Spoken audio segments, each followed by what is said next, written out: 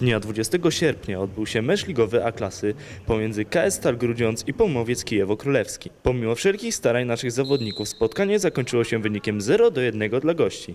Drużyna przeciwnika zdobyła bramkę przy pomocy Dariusza Wójcika, który wykonał rzut karny.